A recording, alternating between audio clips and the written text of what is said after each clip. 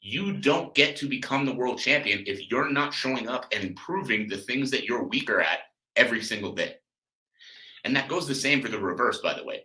If you've got all the skill in the world, but you're weak as shit and you get physically dominated by opponents, guess what? Your strength and conditioning, your weightlifting, your conditioning work, that is where you need to show up regardless of how the fuck you feel.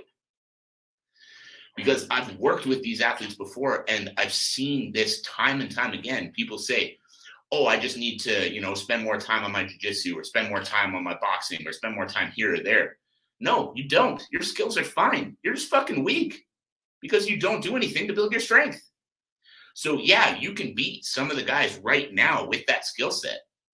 But as you start rising through the ranks and you start facing bigger, stronger, faster opponents, your skill set might be fine. But if you are not physically strong, you're going to get fucked. And so you need to figure out where you're weak and you need to show up for the things that you are weak in to fix those problems.